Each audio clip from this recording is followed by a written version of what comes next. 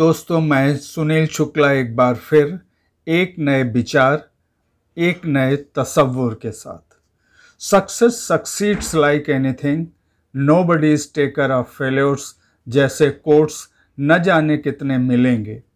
नसीहतें मिलेंगी, उगते हुए सूरज को सलाम करने वाले लाखों में मिलेंगे। असफलता को ढूंढते हुए लोग कम मिलेंगे। जो अपनी और दूसरों की असफलता से नहीं सीखते, वो बेवकूफ़ों की श्रेणी में आते हैं। ईगो या फिर ज़्यादा आत्मविश्वास के शिकार लोग खुद डूबते हैं और दूसरों को भी ले डूबते हैं। जबकि सफलता और असफलता एक सिक्के के दो पहलू हैं। आज 23 अगस्त 2023 चंद्रयान तीन की सफलता से भारत बहुत खुश है।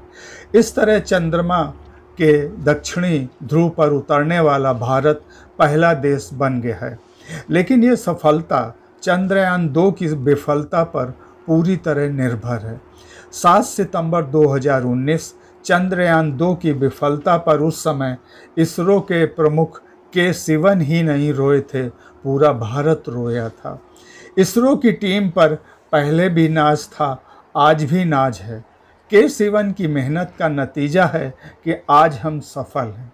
के सिवन एक किसान के बेटे हैं और उनके नेतृत्व में ही इसरो ने 104 सैटेलाइट अंतरिक्ष में भेजकर एक रिकॉर्ड बनाया था।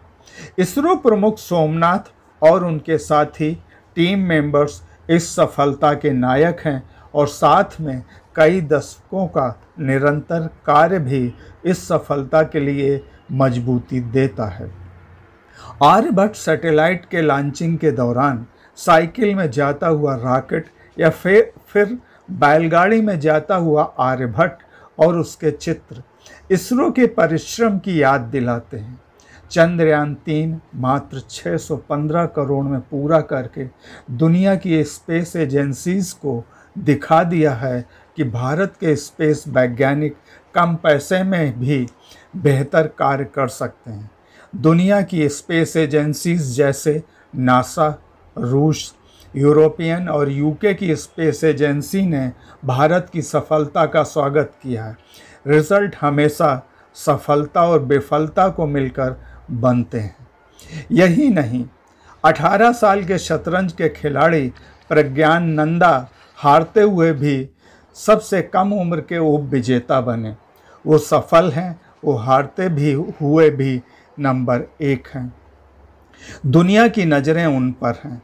हज़ारों पेटेंट अपने नाम करने वाला थॉमस एडिसन अलवा को उनकी स्कूल की टीचर ने निकाल दिया था। और एक पत्र में एडिसन की माँ को लिखा था, तुम्हारा बेटा किसी काम का नहीं। माँ के आँखों में आँसू थे। एडिसन ने पूछा माँ, इसमें क्या लिखा है? तुम्हारी टीचर ने लिखा है कि तू दुनिया का सबसे बड़ा जीनियस है। और इसी दिन दुनिया को रोशनी देने वाला टॉमस अल्वा एडिशन की सफलता की इमारत तामीर हो गई थी। माँ ने ठान लिया था कि मैं अपने बेटे को दुनिया का सबसे बड़ा जीनियस बनाऊँगी।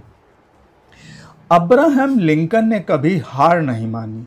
एक दिन वो अमेरिका के प्रेसिडेंट बने। दुनिया में प्रजातंत्र को सशक्त करने के लिए वो आज भी सम्मान के साथ जाने जाते हैं। यही नहीं, ब्रिटिश नेवी का एडमिरल नेल्सन, जिसने हारा हुआ युद्ध जीत में बदल दिया हो, आज भी दुनिया के बहादुर नायकों में गिने जाते हैं एडमिरल नेल्सन। लड़ाई जब सेकंड्स की हो तो क्या सफलता और क्या विफलता? एक कोशिश तो करो यारो और उस जज्बे को एक सलाम तो करो, कभी मत भूलो कि जो हारा था, आखिर वो भी एक नायक था। किसी ने कहा है, मंजिल मुझे मिले या ना मिले, मुझे इसका गम नहीं, ज़िंदगी की जस्तजू में मेरा मकां तो है। कभी निराश न हो, आगे बढ़ें। इन शब्दों के साथ मैं अपनी बात को विराम देता हूँ। शुभ रात्रि शब खैर। लाइक करें शेयर करें और सब्सक्राइब करें। मैं आपको धन्यवाद देता हूँ।